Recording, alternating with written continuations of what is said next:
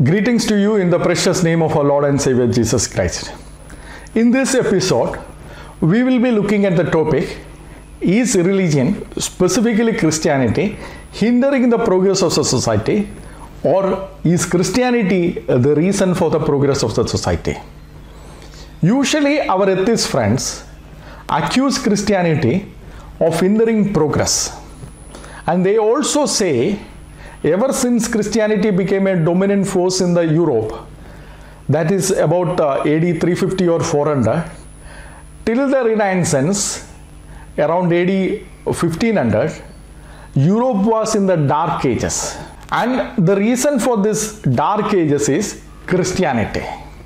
We see that accusation in the world renowned uh, atheist of the last century, Carl Sagan, who was an astronomer as well. In Carl Sagan's book Cosmos, you have a chart of the history. And in that chart, if you closely look, he gives so called the European progress during the Roman time when the pagans, uh, pagan belief was the dominant belief. And by the time that Christianity became the dominant belief and the destruction of the Alexandrian library, he says the Dark Ages have begun and continued until AD 1500. So this is the general narrative of the atheist. How far it is true? This is not at all true. In fact, the ancient Rome or Greek, they never had a concept of progress in the first place. They had a cyclical view of the history. They believed that the history is repeating itself endlessly without any purpose. For example, whether it is Aristotle, Plato, or the ancient poet Hesiod, believed that the history has five periods. Just like our uh, uh, the Hindu brethren who believes that the history has uh, four yugas, and these yugas then form a Mahayuga, and this Mahayugas endlessly repeat itself after the uh, the completion of each Mahayuga. Then the another Mahayuga starts. Similarly, the ancient Greeks also believed there are five stages in the history. Initially, beginning with the golden race, then with the silver race, then with the bronze race, then the demigods race, and then finally the iron race. By that iron race, everything gets destroyed, and then the history begins itself again. In fact, the uh, the people in the ancient Greece and Rome did not believe in the progress, concept of progress at all. This came as a result of the Christian belief. Lynn White, in his book Christian Myth and Christian History, points out that the radical revolution in the world, in the outlook of the Europe, that we can progress came as a result of Augustine, St. Augustine's writings, which is based on the biblical concepts. So, in refutation to the accusation of atheist, as well as to prove our point that the Christianity is a foundation and the source of all progress, we will look at the Middle Ages majorly we will look at the middle ages because if the church fathers has taught the concept of progress then the results the practical implications of that should have started showing up in the middle ages. If it did not show at all in the middle ages then we have a problem. In this episode we will see that the progress has already started itself in the middle ages. Let me begin by quoting david landes who was a, professor of history and professor of economics at the harvard university in his book, The Wealth and the Poverty of Nations, he says the Europe of the Middle Ages was one of the most inventive societies that the history had known. He is uh, speaking about the progress and capitalism, and he says the foundations of this were laid in the medieval society, and the medieval society or the society, European society at the Middle Ages, was the most inventive society that the history had known. He says some may be surprised for a long time, one saw these centuries as a dark interlude between the grandeur of Rome and the brilliance of Renaissance. That cliche no longer holds in matters of technology. It is not merely in the matters of technological, but even other areas of human rights and the institutional building, this doesn't hold good. But today we will be looking at the progress as a progress of material concept. And even in that, the Dark Ages concept does not hold good for the Middle Ages. That is what uh, David Landes is saying. Now, agreeing with the David Landes, Joseph Strayer, another historian, who was uh, uh, taught who was the chair of history department at Princeton University and the president of the American Historical Association. In his book, uh, in his paper, uh, Medieval Religion and Technology, he is reviewing White, Lynn White's paper book, and he says there was an extraordinary range of medieval technological innovations. All classes were affected by these changes, not merely the elite class, but all classes of society were affected by these changes. Better plows for the peasants, better weapons for the fighting men, better machinery for textile workers, better ships and sails patterns for merchants and seamen, spectacles for elderly scholars, papers for notaries, clocks for astrologers and perhaps for churchmen, and more power, wind and water mills for everyone. All these changes had happened in the Middle Ages, which is generally dismissed by people as Dark Ages. But that cliche no longer holds true. Middle Ages were not Dark Ages. In fact, Joseph Strayer adds by 1500, Western Europe was a technology oriented society, no other was. By 1500, you must remember not this date.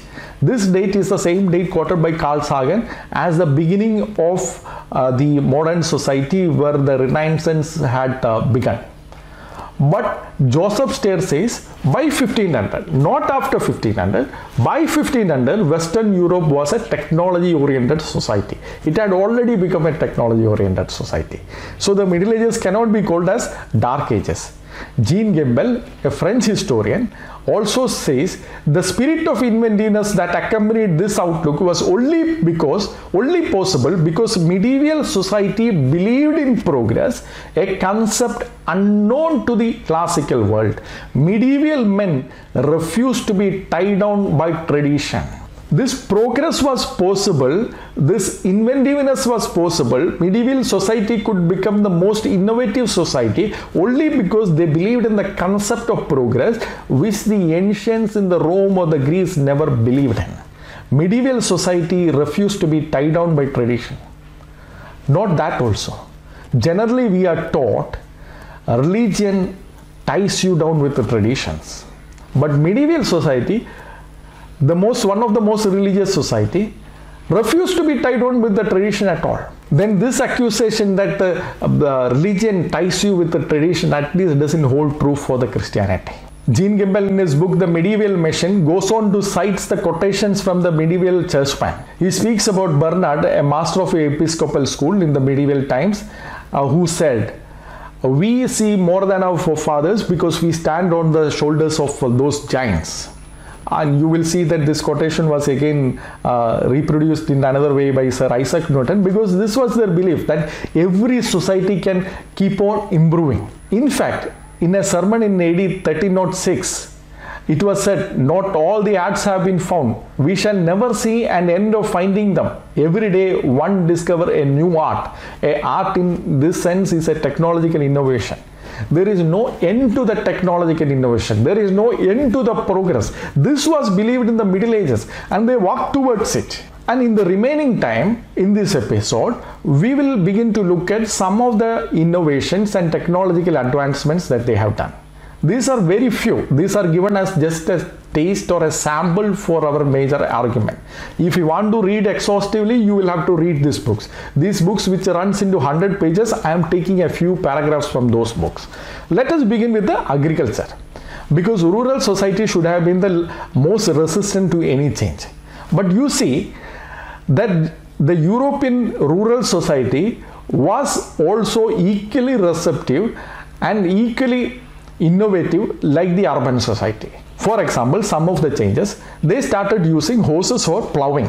The French historian Gimpel says, by the end of the 9th century, we hear of horses used for plowing on the northern coast of Norway, no doubt with a new harness.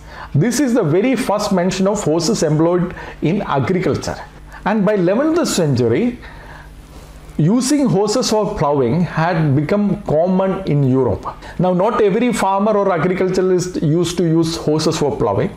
Uh, because in a small plot using a horse for plowing was not the most efficient or economical way but whoever had large areas they started using horses for plowing now what is the advantage of this Lynn White says in his Medieval Technology and Social Change, chapter 2, the agricultural revolution of the early Middle Ages, he says the modern experiment shows that while horse and ox exert equally the same pull, horse moves much more rapidly that he produces 50% more. So horse is faster And not only the horse is faster, moreover, a horse has more endurance than ox and can work for one or two hours longer each day. Horse can work faster and more for more hours. Therefore, it can plow more land. Hence, they started using horse for plowing. Now, not only horse for plowing, they also had a method of three field rotation. They divided the field into three parts. One part they will put uh, one kind of agriculture, and another part they will put another kinds of crops, and the third part they will leave it empty. And the reference for this had begun in AD 763, and next comes in AD 783 and third comes in AD 800. Thereafter, the, it has become a common practice in the entire Europe. So much so that some of the historians say, no, this much radical change could not have happened in a rural area in such a short time. Hence, this practice should have begun long time back. Lynn White refutes that and he says the only reference before this is Pliny and he records it as a one-time event and we don't have a single record anywhere until AD 700. When the Europeans started to think how can we improve, how can we be more efficient, they started with the three-field rotation. Now the three-field rotation has very many advantages. Lynn White uh, shows uh, at least four of those major reasons. One of the reason is by, uh, by diversifying the crops actually uh, you are uh, reducing your risk that is one reason. And another reason is that when you divide the land into three and when you leave one part of the land without uh, cultivating it helps in rejuvenating that land itself. So there, there are several advantages and uh, uh, Lynn White shows some of the advantages. Now this had an impact because they had a better crop because they had more food it could sustain, not only sustain the increasing population it could also make the population healthier. For example in AD 1300 to 1305 we see the food that they have used it says they were offered cheese, meat, and a large quantity of wine, as well as rye bread and a bean of soup. This is the daily uh, diet of those people at that time. In fact, this was the food that was served in a leper colony in AD 1325. It was recommended that bread, oil, salt, onions, and the lepers be served meat three days a week and egg on the other days.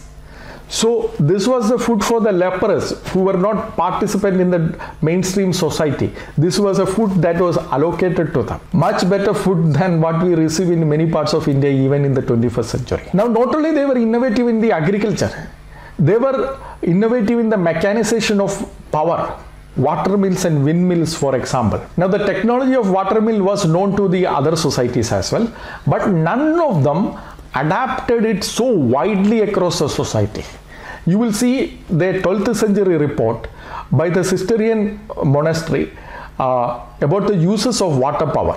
We see a, a benefits about the use of the water mills in the 12th century report by the Christian monks and uh, Jean Gimpel uh, says that uh, this could have been written almost 742 times over because this specific monks had 742 uh, different uh, monasteries across the Europe and everywhere this water technology was used and this energy from the water mills were used both for the industrial purposes as well as for the domestic purposes. Industrial purposes would start from crushing the wheat to tanning and it was also used for domestic purposes. Now how widespread was this water mills and the windmills at that time?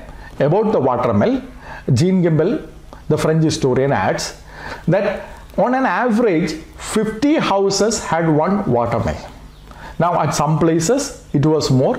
He says it could have been 93 in one place and 26 in another place but he is taking it on an average. And he goes on to add a map of England's river water system with 5624 Domesday water mills is an amazing sight. So this is how they, they, they have used the mechanization of power energy they used water mills and windmills extensively in the Middle Ages. Those period that generally people dismiss it as dark ages. In fact, he goes on to cite how innovative the Middle Ages were. Paper, for example, was invented in the China. Chinese used to manufacture paper by the manpower, by the hands and legs, almost for thousand years. In this book, The Medieval Machine, the French historian goes on to add, Paper which was manufactured by hand and foot for a thousand years or so, following its invention by Chinese and adoption by Arabs, was manufactured mechanically as soon as it reached medieval Europe in the 13th century. This is convincing evidence of how technologically minded the Europeans of that era were. Paper had traveled nearly halfway around the world, but no culture or civilization on its route had tried to mechanicize its manufacture. It's only that Europe tried to mechanize in manufacture. That shows how technologically minded and innovative they were there. They used others' inventions as well, but as soon as those inventions reached Europe, they not only mechanized, they actually started using it for a wider purposes. Again, another example would be the printing itself. David Landes, in his book The Wealth and Poverty of Nations, he says the printing was invented in China, which also invented in paper, which we looked uh, just before, in the 9th century and found general use by the 10th. However, he goes on to add, in general, for all the printing they did for the preservation and diffusion of knowledge in China, it never exploded as in Europe. Much of the publications were government initiative, and one of the reasons that it never exploded in China was that China did not encourage new knowledge. Any new knowledge was dismissed as illusion and was seen with a suspicion. Hence, they did not have much use of these books. But when the printing press reached Europe, Gutenberg published the, his Bible in 1452 to 55, the first Western book printed by the movable type and arguably the most beautiful book ever printed, says David Landes. However, after printing the first book, millions of books were printed within 50 years. David Landes shows that in the next 50 years in Italy alone 2 million books were printed. Or, in other words, there was a knowledge explosion in Europe. David Landes' question is that we should not be thinking that there were no books or the books were not widely used in Europe before the printing press reached there. But such explosion happened as the result of printing press reaching there, which never had happened in China, though China invented the printing press. David Landes goes on to show how the other cultures dealt with the printing press. As an example, the Muslim countries long remained opposed largely on religious grounds. The idea of a printed Quran was unacceptable. While Jews and Christians had uh, presses in Turkey, Muslims did not have. He goes on to cite the example of India as well. India, until the 19th century, it was not widely used. Even the printing presses in India was initiated by the Christian missionaries though the local kings had uh, relations with the Europe, they never thought that they should bring printing press to India. And as we know, it is the Christian missionaries who brought the printing press to India. Otherwise, India would have continued to remain for a longer time without the printing press. So this, these are examples on how each culture adopts technology. Europe was the most innovative society. They were the most technologically oriented society and no society could match them even in AD 1500. We again have an another example of a mechanical clock. Mechanical clock was uh, simultaneously invented both in China and in Europe. China it was first invented by around 11th century. This is again shown in the book uh, The Medieval Machine and the Industrial Revolution of the Middle Ages by the French historian Gimpel. And he says by the 11th century the astronomical clock was invented in China but it was not widely used. In fact, he goes on to shows that the children of the one person who invented the clock, Shushan, even they could not repair when they had to repair the clock because by that time they lost the knowledge. The reason is it was only the emperor who had to know the time.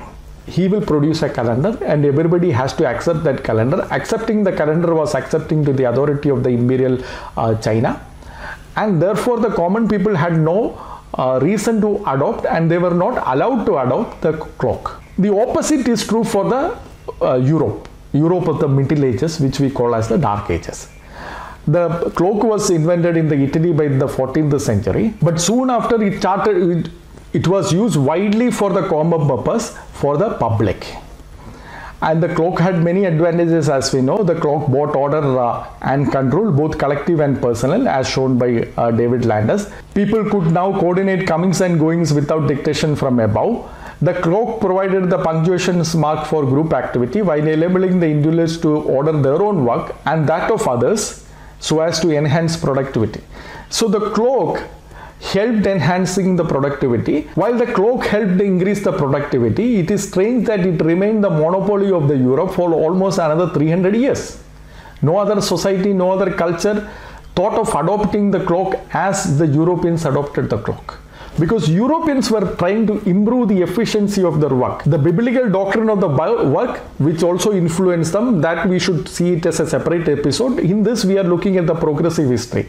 The way the Europeans adopted the clock, no other culture adopted for hundreds of years. Again, that shows the inventiveness or innovativeness of the European society, which we generally dismiss as the Dark Ages. Similar is the invention of eyeglasses Rodney Williams-Stark, who is an American sociologist, in his book uh, The Victory of Reason, says that eyeglasses were invented in AD 1284 in the Italy.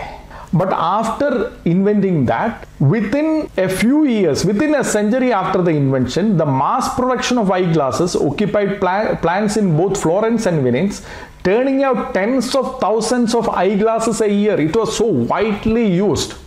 Now we know the use of the eyeglasses. By the age of 40, when you uh, gain experience and when you gain knowledge, if your eyesight uh, start dimming, then you will not be productive. That is the irony of it. By the time that you have gained experience and knowledge, you, if you cannot be productive, you cannot do much activities. But the eyeglasses helps you to be more productive at the time when you have gained the experience and knowledge. That is why ten thousands of eyeglasses were produced in Europe at that time. And then he goes on to say, even so in 1492, when Columbus set to sail, eyeglasses still were known only in Europe.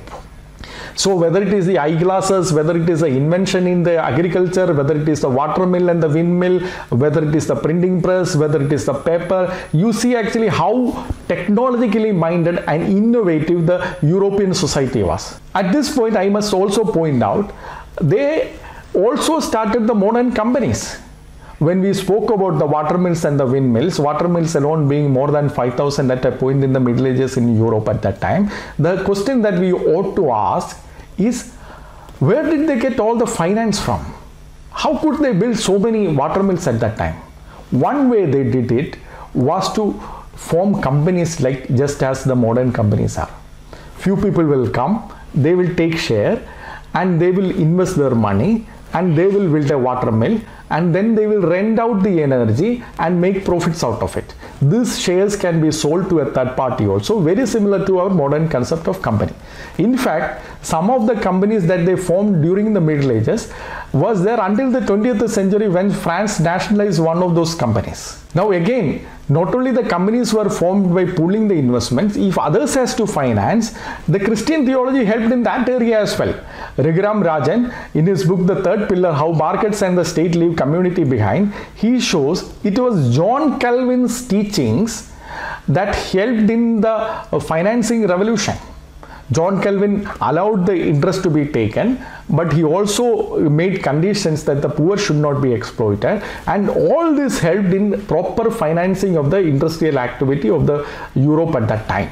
Now, not only investing, not only forming the companies, even the Christian theology helped in saving and investing, which is generally known as the spirit of capitalism, uh, popularized by Max Weber, which we should be looking at separately. But this also helped in developing the society. The people will work because of the Christian work ethics, they will make money, and they will, instead of spending on their comfort and luxury, they will again save and invest it and be more productive, which helps the society as a whole. And only a religious teaching could help in the society to work like that. In every society, there will be few people who will work like that. But the entire society to work like that, it requires the religious teaching. That is one of the major premises of the Max Weber, which we will not be looking at in this episode. However, in this connection with the development, I just made that remark. Now the question is, are there not other explanations other than the religious teachings of the Christianity for the innovative nature of the European society? In this regard, Joseph Strayer uh, points out one can uh, point out many other reasons, but none of them actually explains uh, uh, for the technological uh, revolution and the innovative mindset of the medieval society. For example, urbanization. People generally say when you are more urbanized, uh, you tend to adopt more technology. He says this would have been true for the ancient Rome and even for India. Urbanization have happened but that did not lead to a technological revolution or innovation. He says uh, historians can cite another close contacts with other civilizations. However, he goes on to add the ancient Europe had more contact with other civilizations than the Middle Ages of the Europe. However, the ancient Europe or the Rome was not more innovative or innovative or technologically minded than the Middle Ages. So none of these reasons holds true.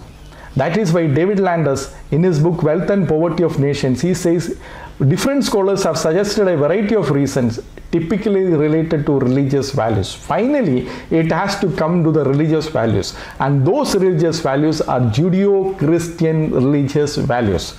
He says Judeo-Christian respect for manual labor, and this we will look at it as a separate episode. He also says the second reason is the Judeo-Christian subordination of nature to man. Man is not a nature worshipper, man, but man is a steward of nature. He has to use the nature properly. And he says the third reason is the linear view of the history, the progressive view of the history. The fourth reason he says that the market and enterprise was free in Europe. Again, as we uh, uh, thought right now, uh, much of those were also because of the Christian theology. But why did the Christian theology teach a linear view of the history? Lynn White says in his Christian myth and Christian history, he says church fathers shows that the cyclical view of the history as a, almost as a blasphemy. It is like saying that Christ would incarnate again and again and again in the history. Judas will betray him again and again in the history. Christ will be crucified again and again in the history. And finally, Christ will be resurrected again and again multiple times in the history. They say that it is impossible. One of the major reasons for rejecting the cyclical view of the history is the incarnation of the Lord Jesus Christ, which can happen only once and for all. That gave the cornerstone for the linear view of the history.